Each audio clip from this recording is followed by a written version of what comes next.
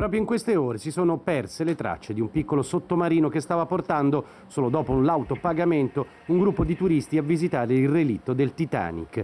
Il mezzo fa parte di una flotta privata utilizzata per questo tipo di immersioni a oltre 3.800 metri di profondità sul fondo del mare dove da oltre 100 anni riposa quello che rimane del famoso transatlantico affondato di fronte alle coste di Terranova in Canada nel 1912 e scoperto solo nel 1985.